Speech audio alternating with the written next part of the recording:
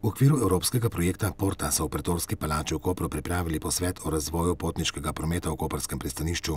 Pripravila sta ga Luka Koper in mestna občina Koper. Udeležilo se ga je več kot 60 predstavnikov ustanov in družb, ki so neposredno in posredno upletene v procese potniškega terminala turizma križarjenja nasploh. Predsednik uprave Luke Koper Bojan Brank se je uvodoma zahvalil mestni občini Koper, ki je že od samega začetka gonilna sila pri razvoju turizma križarjenja v Kopru. Imeli smo 64.500 obiskovalcev in to je nekaj, kar je vsega spoštovanja vredno. Ne? Naša želja zagotovo je, da bi se približali številki, ki smo jo že dosegli v preteklosti. Vemo, da smo imeli 105.000 obiskovalcev Kopra, obale in Slovenije. Luka bo zagotovo prispevala svoj delež k temu, da se število obiskovalcev, ki smo jih imeli letos, poveča. Profesor Francesco Di Cesare iz beneškega podjetja Risposte Turizmo je predstavil izsledke študije Potniški terminal pristanišča Koper, razvojne možnosti za križarjenje, ki jo je v okviru evropskega projekta Adria A naročila Luka Koper.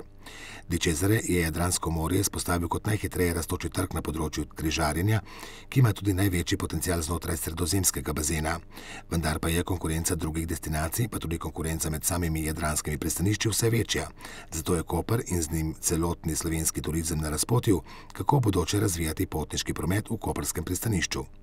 Dečezare je ponudil razmislek več scenarijev. Eden je Koper kot matično pristanišče, kjer bi se potniki lahko tudi ukrcali na ladjo. Drugi je tako imenovani interporting, kjer bi Koper kot destinacija znotraj izbranega križarjenja omogočal tudi ukrcanje potnikov. V naslednjem desetletju ali dveh bi v Koperu utegnili doseči od 250 tisoč do 300 tisoč obiskovalcev letno, saj so nekateri ladjarji, med njimi Carnival in Royal Caribbean, že izrazila željo po tesnejšem sodelovanju, strateškem povezovanju in celo z lastnim vlaganjem in vstopom v lastništvo.